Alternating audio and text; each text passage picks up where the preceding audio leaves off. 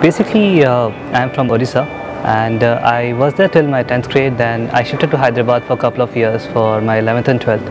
And then, uh, you know, I found out about Jain University, about uh, how it's among the top uh, universities all around uh, India.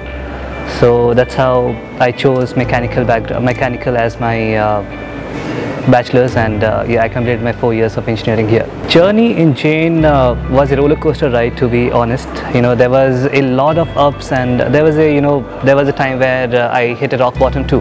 But you know, I had the support of my teachers and uh, my mentors and everybody, you know, so they supported me throughout and they, they kept me going no matter what they are always behind they were always behind my back. When you talk about Jain, right so the first thing which uh, comes into my mind is uh, the studies then the cultural activities and the sports.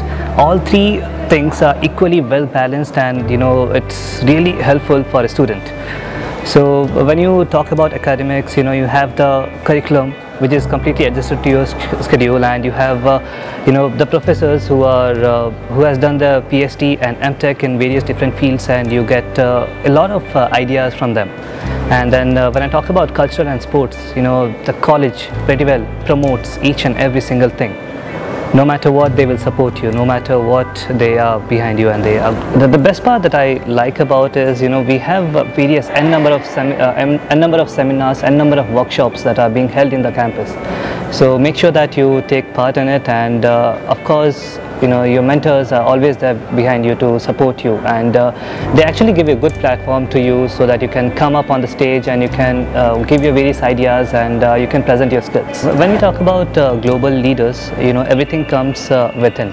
No matter what uh, if you are a, a sports captain head or a cultural uh, secretary you know you have to take uh, take uh, charge of the whole entire unit.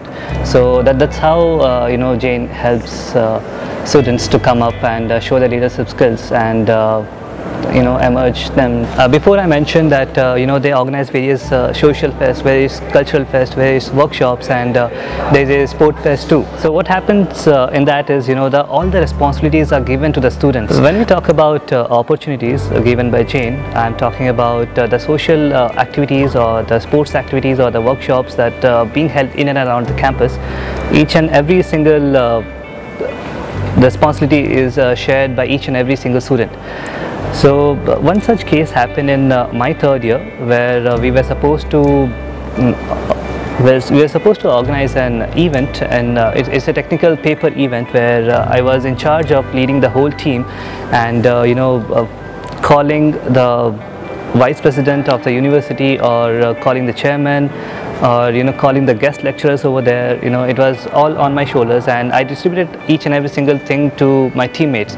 So that's how as a group we came up and uh, you know the event was a huge success. I would definitely recommend Jain as uh, you know in my previous interview also i was talking about uh, you know the three pillars uh, about the cultural the academics and the sports. You know the Jain appreciates each and every single thing and of course the teachers are you know uh, teachers and mentors are always behind your back and they support you no matter what